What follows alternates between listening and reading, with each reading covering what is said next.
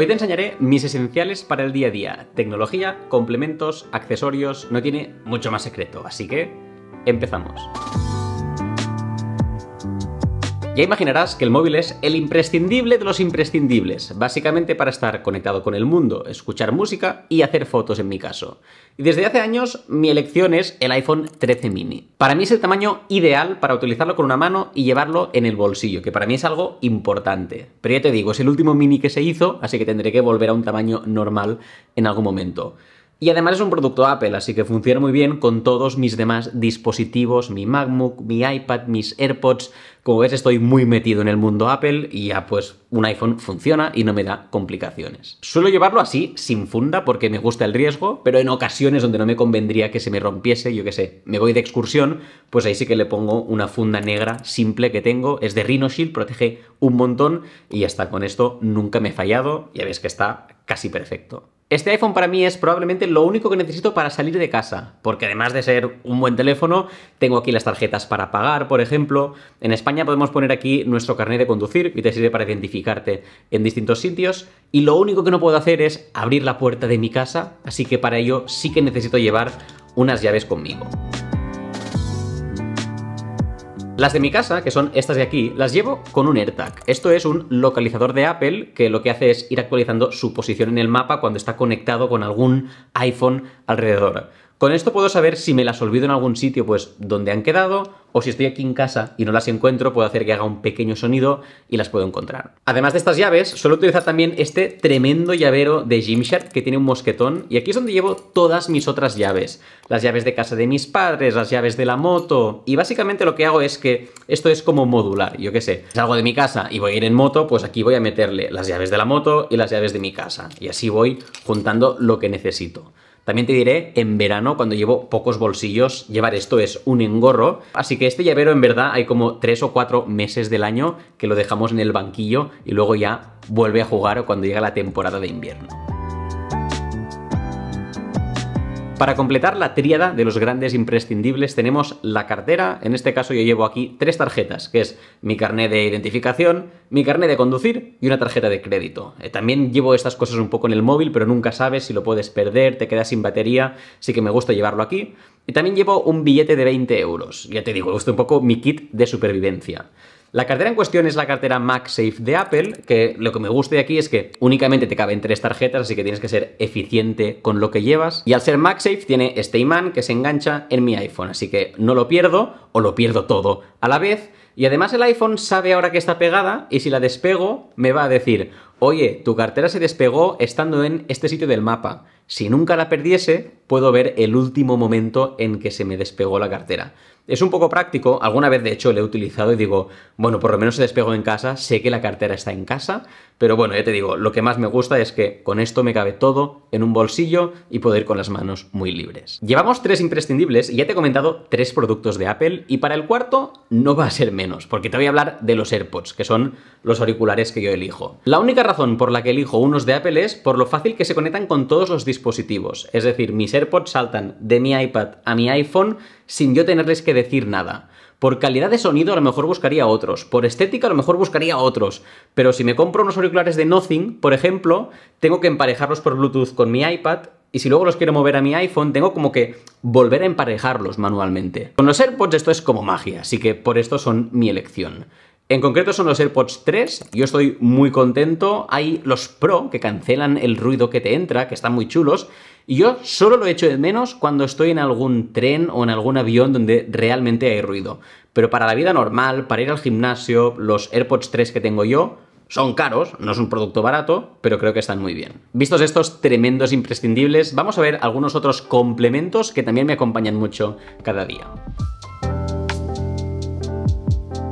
Empezaremos hablando por gafas de sol. Es gracioso porque en un momento de mi vida yo asociaba las gafas de sol al verano y luego me di cuenta de que hay sol durante todo el año y puedes usar gafas de sol durante todo el año. Fue como un pequeño hack que cambió mi relación con ellas.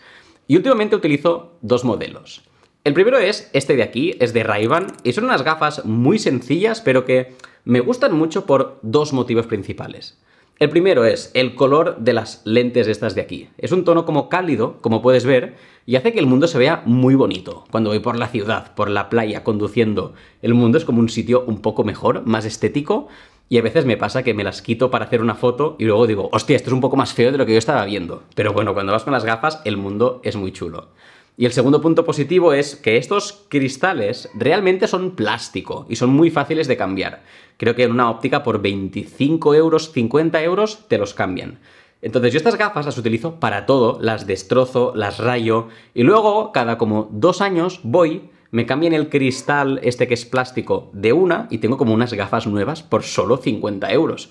Entonces no me tengo que preocupar, que es algo que si fuera un elemento muy delicado, a lo mejor no llevaría tanto las gafas conmigo. El segundo modelo que me estoy acostumbrando a utilizar son las gafas de ray con Meta, que son estas de aquí, y básicamente su gracia es que tienen una pequeña cámara y unos altavoces aquí en las varillas, con lo que puedes hacer pequeños vídeos para redes sociales, puedes escuchar música o notas de voz si quieres por aquí, y hice un vídeo separado sobre ellas que te dejaré por aquí, pero lo mejor es que son unas gafas de sol, y como gafas de sol están bien, el cristal no es tan chulo como estas, entonces como voy cambiando, pero me gusta llevarlas por ese momento ocasional que voy conduciendo y veo algo y es como, Meta, haz un vídeo y lo tengo grabado porque si no perdería o me pegaría un accidente impresionante. Pero ya te digo, 90 y pico por ciento de las veces son una gafa de sol normal porque la tecnología es muy poco intrusiva. Si seguimos hablando de complementos tecnológicos, tenemos la Whoop, que es esta pulsera que llevo aquí, que es básicamente una pulsera de actividad. Lo único que hace es monitorearte lo que haces durante el día con los típicos sensores de frecuencia cardíaca y temperatura, etcétera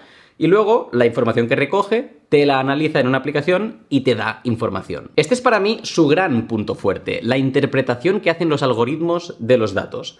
Por ejemplo, con un Apple Watch traquea un montón de datos, te los traquea bien y luego te los muestra, ¿no? Y te dice, esta noche has dormido tantas horas y tu frecuencia cardíaca ha sido tal. Lo que hace Whoop es ir un paso más allá, y estos datos los agrupa y luego los interpreta para decirte, oye, hoy has descansado menos de lo habitual, y con esto a lo mejor hoy podrías entrenar un poco menos, o te recomendamos que mañana vayas a dormir un poco más tarde. Hace un ejercicio de interpretación y recomendación que otros no lo hacen, y yo lo estoy probando desde hace como un mes o algo así, pero me está gustando mucho empezar a entender más cómo me comporto, cómo me afectan ciertas cosas. Podría hacerte un vídeo entero, y seguramente lo haré, un vídeo entero hablando de la WUP. Así que si quieres dejar los comentarios ya veo que hay interés, pero no me quiero alargar mucho. Es un dispositivo muy interesante, muy diferente, y te recomiendo que si te gusta el mundo del deporte, investigues en ello. Una particularidad de la WUP es que solo te traquea, no te da ni la hora. Así que en la otra muñeca suelo llevar un reloj.